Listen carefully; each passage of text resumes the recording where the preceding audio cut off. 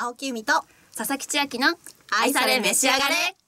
皆様お元気でしたか？料理カウンセラーの青木由美です。皆さんこんばんは。女優の佐々木千秋です。さて始まりました。愛され召し上がれはい、この番組は婚活は料理レシピ作りとカウンセリングからをコンセプトに婚活料理カウンセラー青木由美さんがラジオを聴きの皆さんに分かりやすい婚活の方法お料理のレシピ最新便利調理器具情報など料理と婚活などアラサー女子目線のトレンド情報満載な番組です。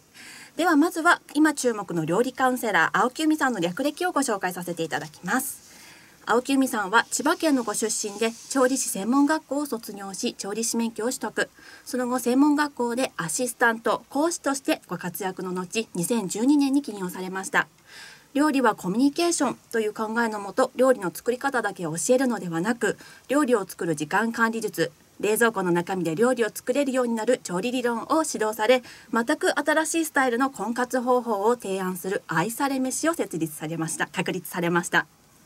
現在は食を通じて女性が心時間経済の豊かさを得られ安心して子育てができる日本の未来のためにこの番組をはじめ婚活料理教室各種セミナー取材そして執筆など精力的に活動されていらっしゃいます。素敵な紹介ありがとうございます。はい、そしてですね今お話しさせていただいております私佐々木千秋と申します。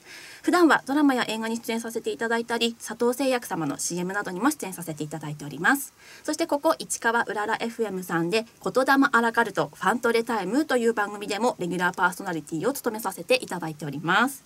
そして毎週木曜日夜9時からテレビ朝日系列で放送中の人気ドラマ米倉涼子さん主演のドクター X 外科医大門美智子に看護師としてレギュラー出演をさせていただいております。よかったらチェックしてみてください。もうねドクター X 私も大好きで、ずっとシリーズ見てたので、ねそうなんですか？今回もですねはい。千秋さんどこに映ってるかなってこうドラマのね 画面隅々まで探してます。隅々まで探していただいてるんですね、ありがとうございます。もうね本当に撮影頑張っておりますのでぜひ皆さんもねご覧になっていただけたら嬉しいなと思います。よろしくお願いいたします。そしてですねあの最近の青木由美さんのフェイスブック拝見しておりますと。おありがとうございます。はい、あの実は私も出演させていただいた連続ドラマなんですがちょっと情報解禁がねまだなので詳しくはちょっと申し上げられないんですが今、まあ、今後ねあの某局で放送予定の深夜ドラマについて由美さんの活動にね、こうわざわざ直接取材というか監督自らがですよね由美さんのスタジオに訪ねてこられていろいろ取材を受けられたりとかね。でそそのドラマの実際の撮影現場にもアドバイザーとしてね行きおました。立場できね出向かれたと伺ったんですけれどもいかがでしたあか？の料理婚活のイベントってどんな流れになってるのかとか、はい。あとはどんなメニューを作るのかとか、うんうんうん。あとは何人組でねこう料理するの？とか、うんうんうんそういったね取材をいただきまして、はい。であとはねこう現場にも実際に行かせていただいたんですけど。ええあの私昔ねはい。こう、バラエティ番組とか、うん。あとあのこうテレビ取材とかで、はい。こう現場っていうものを見たことはあったんですけおどー。ドラマの撮影現場って初めてだったのでなるほどすごい新鮮でしたね。えええどどうどうでしたか？もう実際？ねなんかドラマってこうやって作られるんだなっていうこう裏側を見せていただいたみたいな形になるのええで。ええええなんかこうドラマの見方が変わったあ 感じです。まあそうそうですよね。ええこう実際ねあのこんなに短い時間をこんなに長い時間かけて撮るんだとかね。そうですね。ほんの一瞬ってね、うんこう見てるだけだったらわからないんですけど、裏にははいこんなたくさんの努力とかね、い、ろんなものがあるんだなって初めて知りました。うんそうですよね。ねなんかもうあのすごくそのお話をね聞いた時に、あ由美さんすごいって思っちゃいましたよ。ねありがとうございます本当にぜひね皆様またちょっと情報解禁がありましたらお伝えしたいと思いますので、お待ちください。ね、この番組からこう由美さんどんどん遠い存在というかなメジャーデビューされてらっしゃるのがねこう横で見ていて私はとっても嬉しいなというふうにありがとうございます。感じております。はい。さあこんな二人でですねというとどんな二人だよとね 最近の由美さんのご活躍ぶり見てると思わずこう突っ込まれちゃうかもしれないんですけれどもこの番組「愛され召し上がれ」では毎回お聞きいただいている皆さんに料理婚活などについて今後もよりすぐりの情報をお伝えしてまいりたいと思っておりますのでよろしくお願いいたします。それでは初めのコーナーは冷蔵庫の残り物を三段活用のコーナーこのコーナーは冷蔵庫に残っている食材をもとに誰でも簡単に作れる追加の一品について簡単なレシピを紹介していただくコーナーです。そして残り物3段活用ということで1つの食材に対して3つの簡単な料理レシピをご紹介させていただきます。それでは由美先生今回の食材は何でしょうか？今回はですね、はい。さつまいもについての3つのレシピをご紹介していきます。さつまいも。秋の味覚でね。そうですよね。美味しいですよ美味しいね。まあ、今回ですねまずはい1品目、さつまいもご飯。おさつまいもご飯。そしてえー2品目さつまいものマヨネーズサラダ。えーマヨネーズサラダ。3品目さつまいものチーズ焼き。チーズ焼き。これねあのさつまいも全部に共通するのでね一番最初にお話ししておくと、はい。あのさつまいもってね寒さにちょっと弱いので、え。ー冷蔵庫とかには入れないで常はい。温保存をするということと、はい。あともう一つ甘さを引き出していくためには、ええ。ゆっくり加熱をするっていうのがポイントになりますのでそここうなんで2つすね押さえておいていただきたいなと思います。はい。じゃあまず1品目、はい。さつまいもご飯ですね、はいえーお米が1合。はい。そしてさつまいも 80g 80グラム。お酒大さじ1杯。はい。お塩小さじ4分の1杯。はい。お醤油小さじ4分の1杯。はい。お水 160cc、はい、えーまずはですねさつまいもは1センチ角に切っては3分から5分お水につけてアクを抜きます。三分から五分。はいはい3分から5分、えー次にですねお米を溶いて、はい。で炊飯器にあのお水を切ったさつまいもと調味料全部入れます、はい。そしてスイッチを押して炊飯器でご飯炊くだけです。えすごい簡単。スイッチを押すだけっていうね。そうなんですちょねっとねこう調味料計量するっていうところはね、うんうんうん。こう面倒くさいかもしれないなと思うかもしれないですけど、あのスイッチを押すだけですのでじゃ簡単です。あのお水はい。これ 160cc ということなんですが、ええ。これも本当にあのお釜にバーって入れるだけで入れるだけで大丈夫です。あなるほど。そこまでね指定していただけるとすごいあの私的には すごく初心者的にはすごく嬉しいですよ。はい、えーそして2品目、はい。さつまいものマヨネーズサラダ。マヨネーズサラダ。はい。まずさつまいもこれ中ぐらいのサイズだったら半分。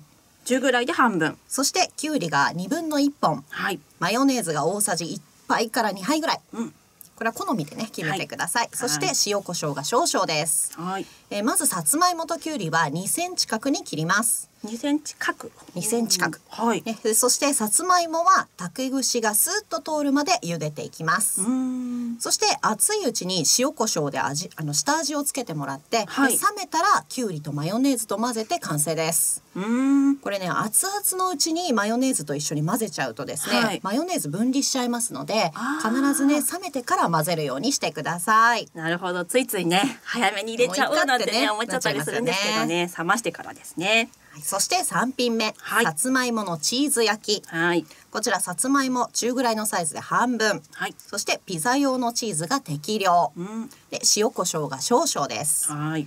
えーまずはさつまいも1センチ角に切ります。これは1センチ角なんですね。これは1センチ角です、えそして竹串がスッと刺さるまで茹でてもらったら、はい。まあ、耐熱皿とかグラタン皿とかね、えーああいうものに入れていきます。はい。そして熱いうちに塩コショウでしっかりと味をつけてもらったら、上からチーズをかけます、うん。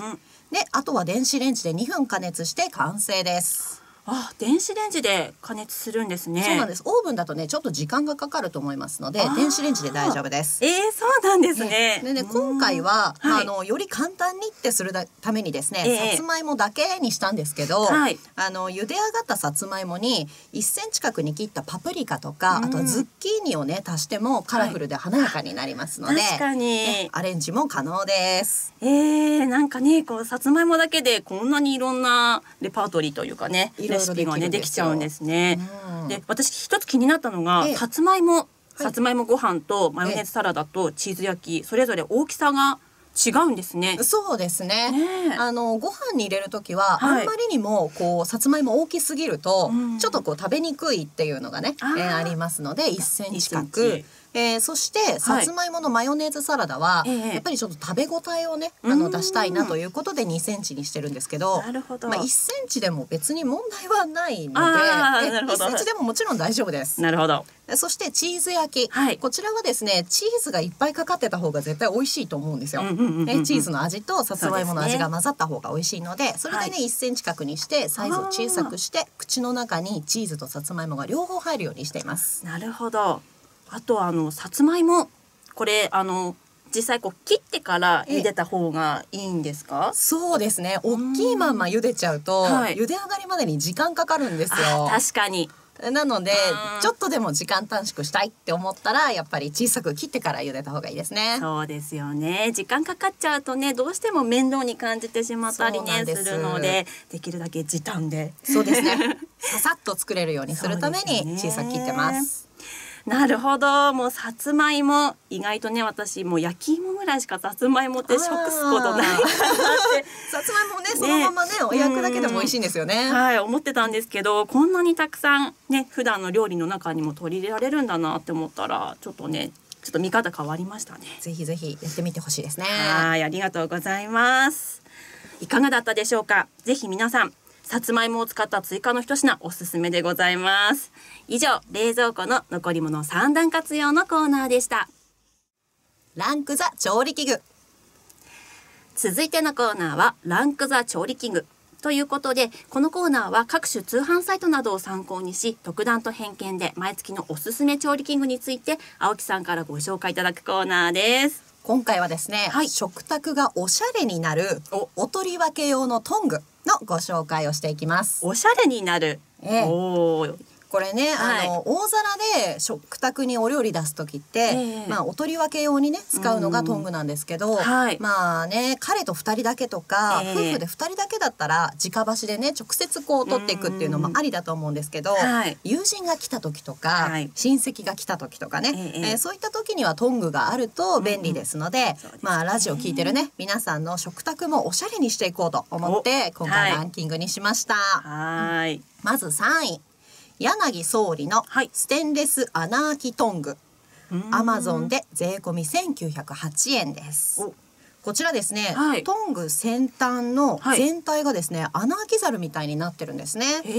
なのでこちらねあのステンレス製ですから、はい。余分な汁気がどんどんこう穴から落ちていってでサラダのねレタスとかも刺さりづらいし貼り付きにくいっていうのがポイントのトングになってます。そうなんですね。えーこちらもですね結構人気の商品ですね。うんそして第2位はいオークス株式会社のはい。指先サーバートングこちらアマゾンで税込み1772円の商品です指先。そうですお指先サーバートングっていうこの名前の通りですね、はいええあのまるで自分の指のようにうん思い通りに操れるっていうのがポイントなんですね。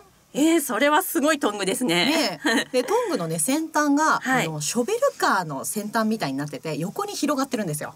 あ先端がちょっと横広なんであ、すね。ななるほど。ええなのでこうつまむっていうだけじゃなくて、はいすくうっていうこともできるんですね。えー、幅広い料理のお取り分けにも使えるっていう料あのトングになりま本す。当ですね。そしてはい第1位はい。こちらも同じオークス株式会社さんのはい指先トング。あれ？指先トング？あれ？って思いますよね。はい。こちら先ほど2位が指先サーバートング、うんうんうん。1位は指先トング。こちらの1位の指先トングははい。Amazon で税込み936円の商品です。お手頃。ね、こちらもですね、あの、はい。同じ2位のね、あの奥さんの同じ会社さんのものなんですけれども、はい。先ほどの指先サーバートングよりも、ええ。指先トングの方がですね、はい。先端が細くなっているので、うん。あの細かい作業が楽々できる。まあ、例えばですけど、はいあのー生ハムってちょっと薄いから取りづらいじゃないですか。はいそうですねああいうのもスルッと取れるんですね。あえこちらですね、あ、はい。あの私も持ってるんですよ。え、そうなんですうんか。これ使ってるんですね。えー、でこれですね日はい経トレンディ2013年ご当地ヒット大賞賞あの受賞の商品なので、はい。まあ、結構あ私見たことあるっていう方いるかもしれないです。あ、そうなんです有ね。名なんですよ。あらまあ、ちょっと私知らなかったかも。作っているところもですね、ええあの新潟の燕三条あというところで金物ねうん包丁とかで有名なところですね。こちらの3品今回はご紹介いたしました。いやーすごいなんかこうトングだけでもいろんなこうね先っちょが形状が違ったりするんですね。ええ。用途によってねいろんなのがありますので、ええ。私よくこれ使うとかっていうのでね、うん。選んでもいいと思います。いやこれはねあのトングいろんな種類出てきたらああってちょっときょやっぱ興味出てきますよね。そう料理用のトングってねちょっと長いので、食卓で使うには邪魔だったりとか、うん。ねあのおしゃれじゃないっていうのも結構ありなんですますから、よね。食卓用のおしゃれなのが一個あってもいいですね。もう決めてやっぱおしゃれなトングというところでね、これからの季節パーティーなんかも増えるでしょうからそうですね。ぜひ皆様使ってみてください。いかがだったでしょうか？はい。以上ランクザ調理器具のコーナーでした千秋のぜひものソング。さてこのコーナーはぜひものソングということで何のぜひものかと申しますとズバリ恋愛です。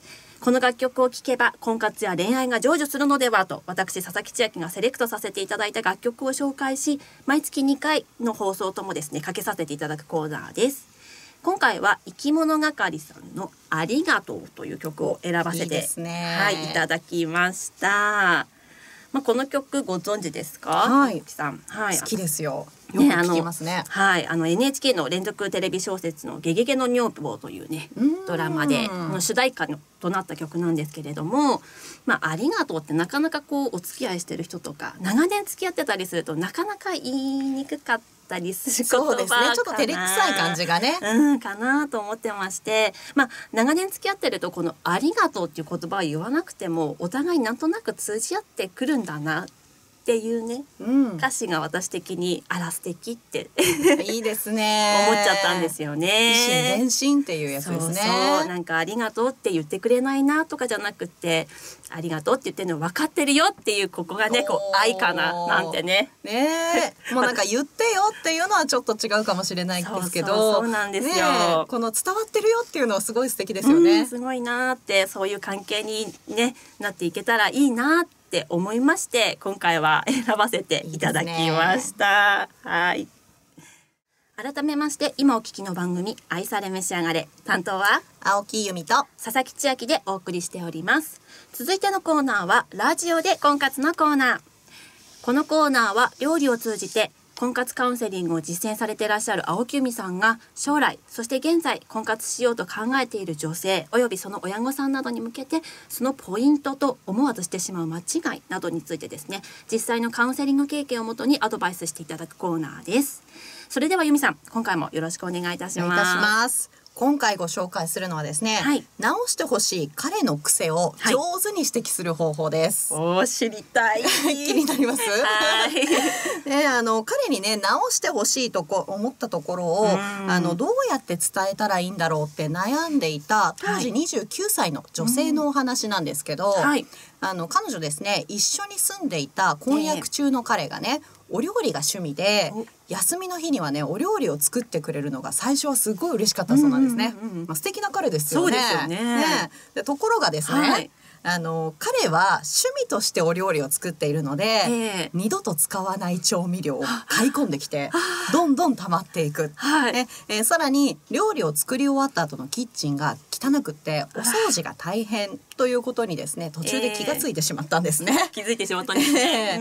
うん。ででまあ料理上手な女性だったら、まあ、まあ残った調味料をね普段のお料理で、まあ、使い回しってできますけど、ええええ彼女はね普段はお料理作るけれども、まあ、料理上手っていうほどでもなかったので、ええ。残った調味料を使いこなせなかったんですよ。うんうんうんで彼はですねどんどん買ってくるし、ええ。彼の趣味に口出しをしたくはないけれども片付けもやっぱりちゃんとやってほしいし、うん調味料買うのはいいけれども賞味期限までにはまた使ってほしいって、これをねどうやって伝えたらいいんだろうって。難しい。これは難しいな。悩みますよね。うんまあ彼もね良かれと思ってやってることですし、ええまあ文句をただ言えばいいっていうことじゃないですので、そうですよねええその相談を受けてですね、うんまず彼女に2つのことをやってもらったんですね。はいまず1つ目、はい。ねえーまあ料理ってねどんな調味料入れてもいいんですよ。えーなので、まあ、実験だと思って、はい。あなたも普段の料理に彼が買ってきたねいろんな調味料をまず使ってみたらどうっていうアドバイスをしてで実際にね彼女にも普段のお料理に彼が買ってきたこううん。うん新しい調味料をね、はい。使ってみてもらったんですよ。ええ。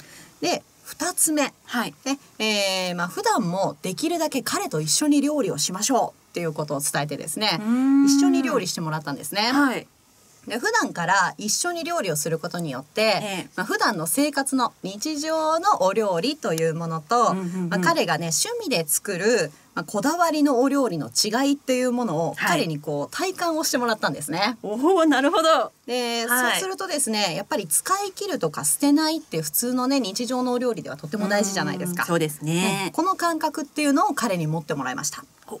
するとですね、はい。彼もだんだんと調味料を買うときにですね、ええ。ねこれ普通普段の日常のお料理で使うかなって相談してくれるようになったそうなんですね。すごいで掃除もはい。やっぱり普段ね、一緒に料理をやっているので、うんうんうん。あ綺麗にしなくっちゃっていう感覚が身についたのか、うん。うんだんだんねしっかりとお掃除もしてくれるようになったみたいで、ええこれだったら結婚も大丈夫だなってこう安心ができるようになったそうなんですね。なるほどね。やっぱりね口で伝えるっていう方法もねもちろんあります。うん。ねうん。えーこうしてほしいんだけどっていうのも言うっていうのも大切なんですけど、はい。料理を一緒に作るっていうことによって、まあ、伝えるとかうん。あとはあの彼に実際に感じてもらうっていうことでね、えーコミュニケーションを取る方法もあるんですよ。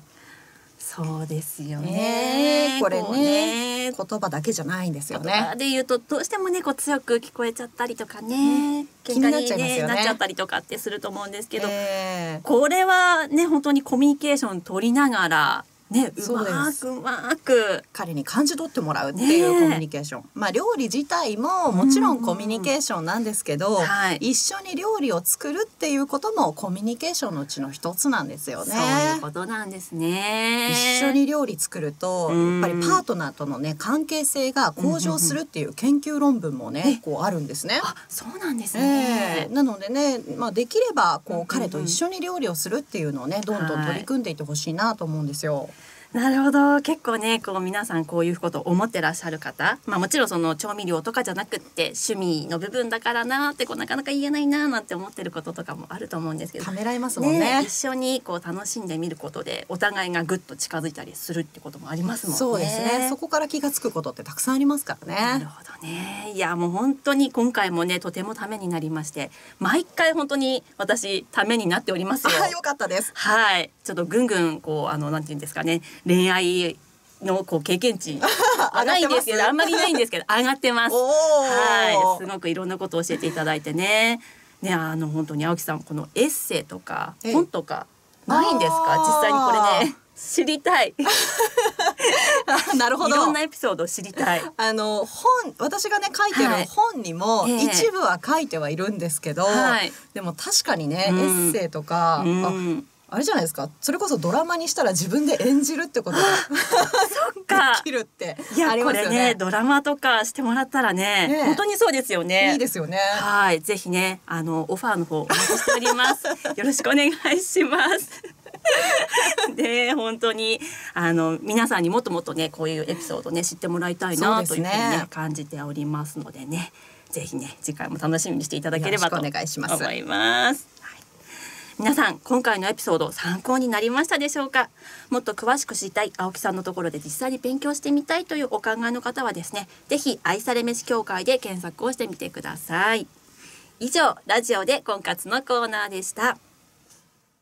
皆さんもうエンディングのお時間ということなんですが今お聞きいただいております愛され召し上がれは毎月第2第4火曜夕方6時からお送りしておりますのでぜひこれからもお聞きいただければと思います。